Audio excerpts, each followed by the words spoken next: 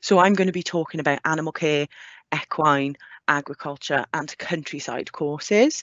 So our land-based department. I can see we've got a steady number of attendees, so I will start uh, in just a moment.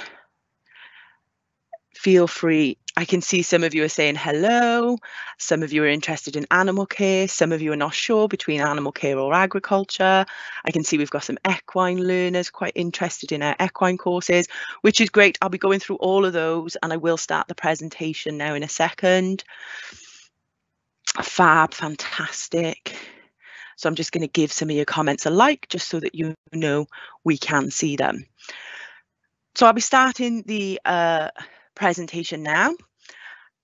So I'm going to start the presentation. Hopefully you can all see this.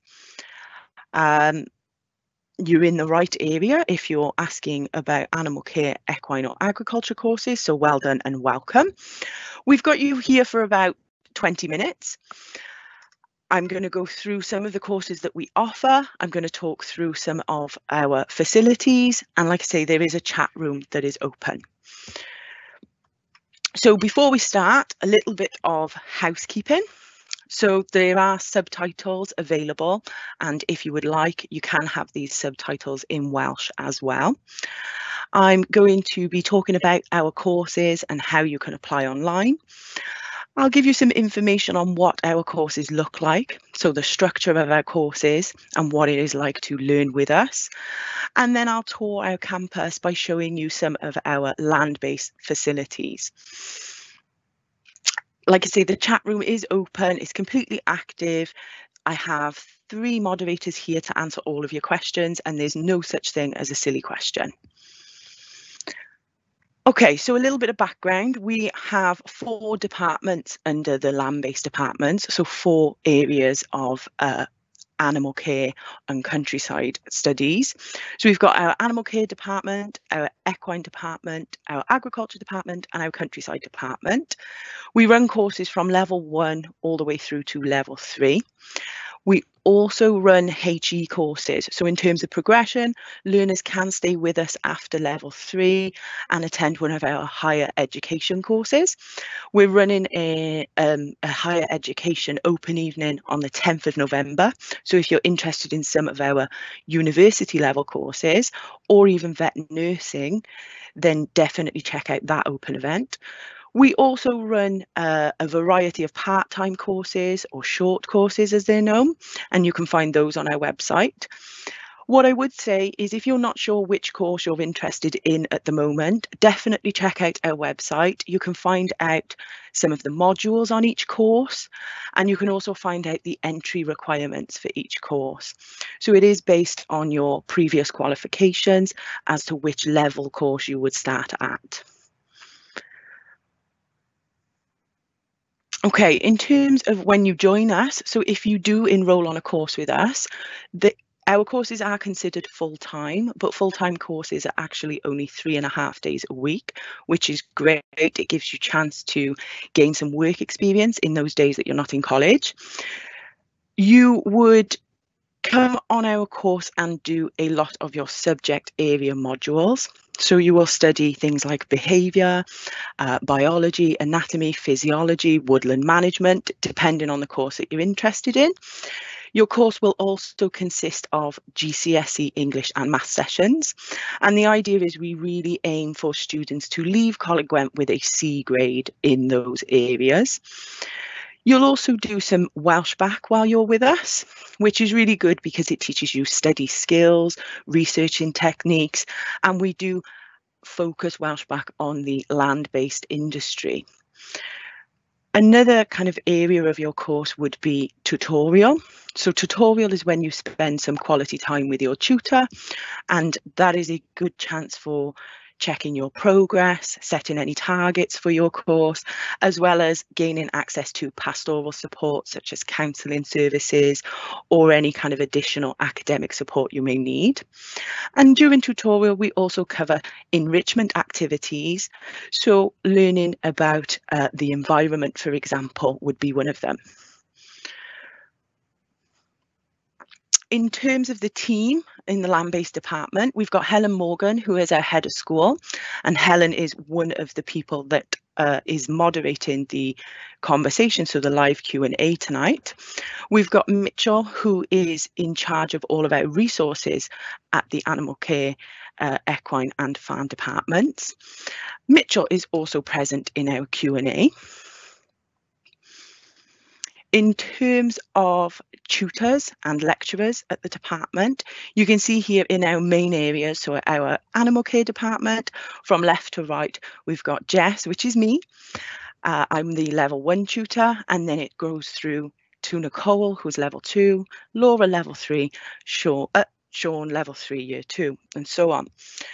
Our tutors cover uh, a variety of subjects. So we have specialists in zoology, we have local farmers that teach for us.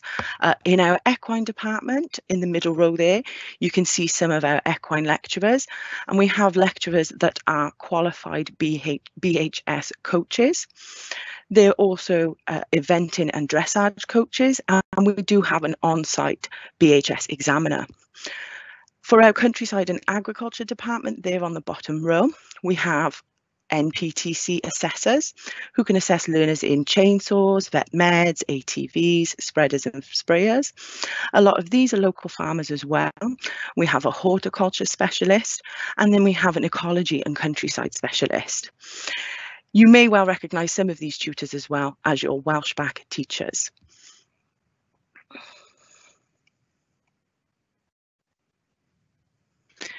So in terms of our resources, what is it going to look like if you come to our department?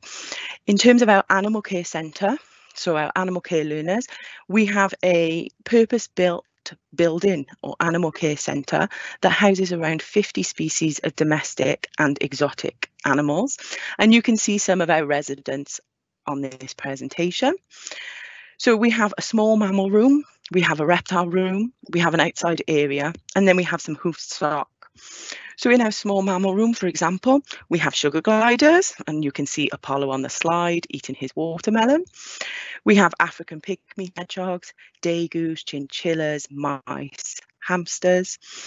In terms of our reptile room, we have, including our geckos that are on the slide here, we have an 11 foot boa constrictor, we have a bosc monitor, tree frogs, and then some learners are not fond of these animals, but we have scorpions and tarantulas, as well as giant African land snails.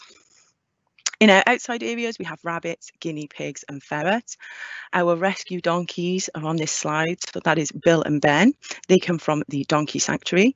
And we also have, which you can see here, the Blue Cross Rehoming Centre. So if you do join a course with us, don't be surprised if you end up adopting one of our cats. In terms of our equine centre, so we have a 16 stable equine centre. We have both an indoor and outdoor arena.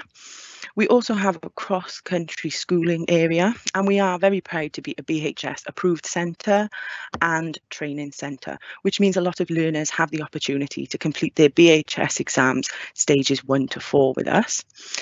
We also hold a lot of on-site events in, and competitions that learners can get involved with as well.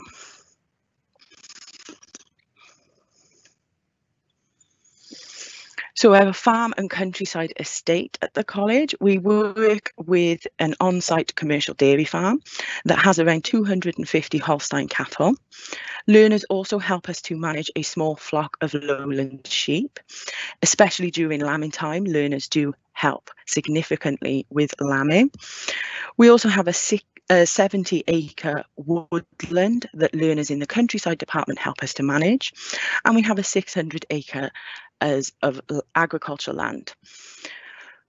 The campus itself is based on the River Usk and is where we get our name. And the Berthin Brook runs directly through the campus. And sometimes you're lucky enough to see otters.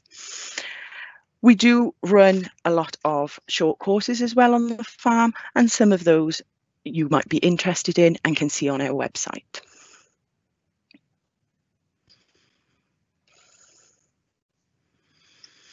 In terms of the learner feedback from our courses, you can find this on some of our social media as well as on the Co uh, Gwent website. But our learners really do enjoy coming with us and you can see some of the feedback says that it is very real world learning. So we do equip you and prepare you for employment in the land-based industry. We give you the skills needed and necessary and you also have the opportunity to uh, gain additional qualifications for the world of work.